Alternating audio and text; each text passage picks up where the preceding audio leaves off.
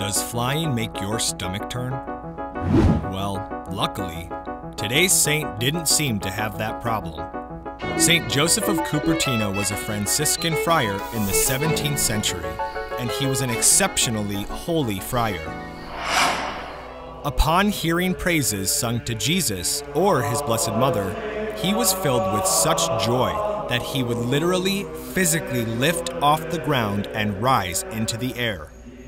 This unbelievable phenomenon is called levitation, and St. Joseph experienced it quite frequently. He once levitated when he was having an audience with the Pope and could not return to the ground until he was ordered to by his superior.